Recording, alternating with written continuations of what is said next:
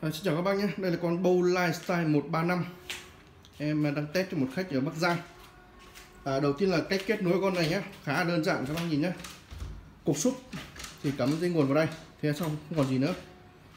Thanh sau ba có hai sợi. À, Dây tín hiệu cắm vào lỗ này. Cái mặt vát nằm ở phía này các bác nhé, có mũi tên này. Và thứ hai là dây nguồn. Hết không còn gì nữa.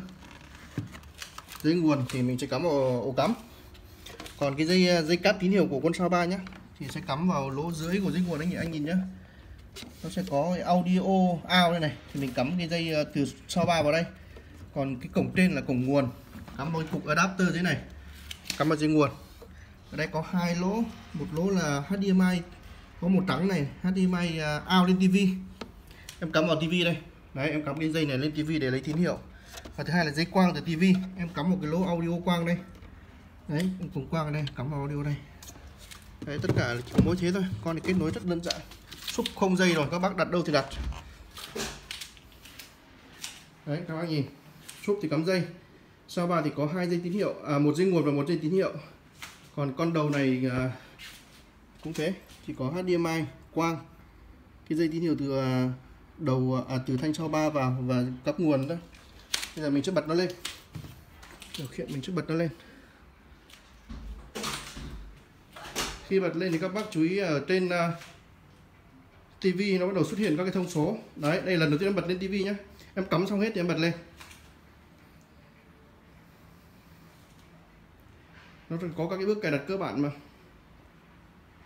Các bác nhìn nó đang tiếng Nhật đúng không? Bây giờ em sẽ chuyển nó sang tiếng Anh. Cái này em chuyển sẵn rồi thì về khách không phải chuyển nữa. Ở đây có một cái nút setup này. Em bấm nút setup này.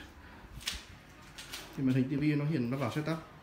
Đấy ngay mục đầu tiên luôn các bác nhìn nhé cái mục đầu tiên này là ngôn ngữ luôn. Chọn thành tiếng Anh. Đấy, thế là xong thành tiếng Anh hết. Mình thoát ra ra. Thôi à, điều khiển có exit ra ra các bác nhìn nó có bây giờ nó có cái vào suộc nhé thì nó sẽ có cho mình là TV FM và AM chủ yếu là mình sẽ dùng cái TV thôi. Muốn chỉnh bát tép các bác nhìn khiển nhé nó có một cái nút này này. Hơi tối cái nút này, mo 3 chấm này, các bác ấn vào này. Thì trên TV nó có chữ option này, mình nhấn vào cái option đấy. Đấy, nó sẽ ra cho bác nhìn nhé.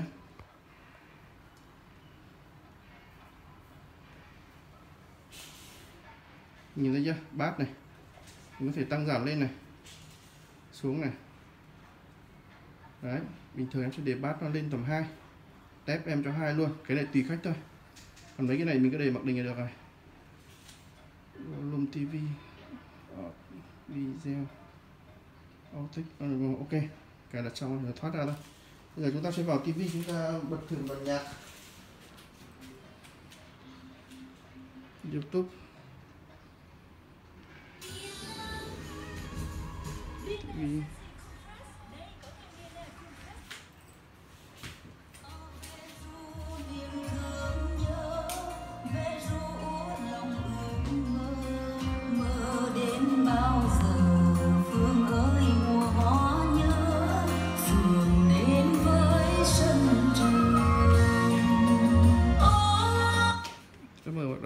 bản nhạc uh,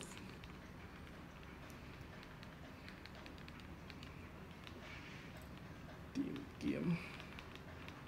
Nghe bản acoustic nhé chúng ta test cái tiếng sạch của nó bằng gánh mẹ đi.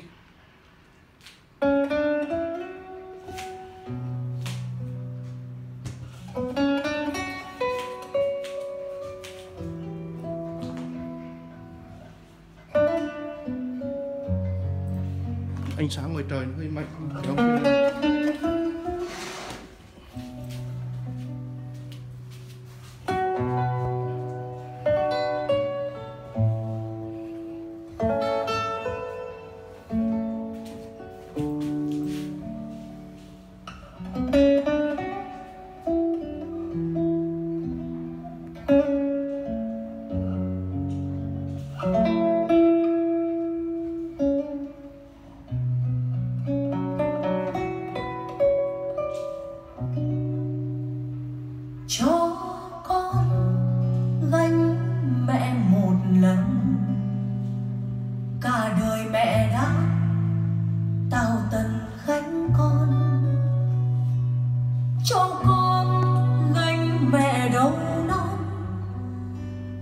lòng mẹ đã gánh con biến trời.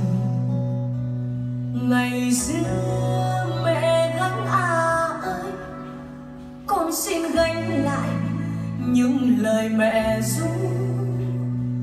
Đường đời sương gió mịt mù, vì con hạnh phúc chẳng từ gian nan.